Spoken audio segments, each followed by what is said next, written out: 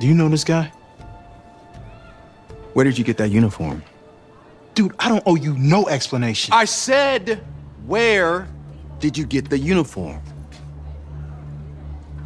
You know what? Fine. I got it from the thrift shop. What does it mean to you? It's just uniform. It's not just a uniform. It represents something more than you ever understand. And I know what it means to make that sacrifice. My brother sacrificed his life alongside so many others for the right to wear that uniform. So no, it's not just a uniform.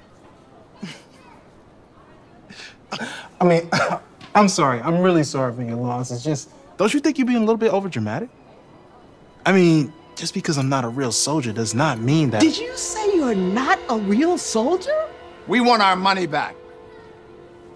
You know what? You can take your money. It's not like it's a lot of money, anyways. And I'm taking this too.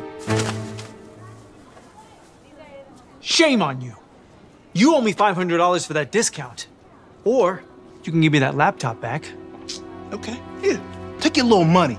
Get off my back. In fact, I want all of y'all off my back. Thanks a lot. You happy now?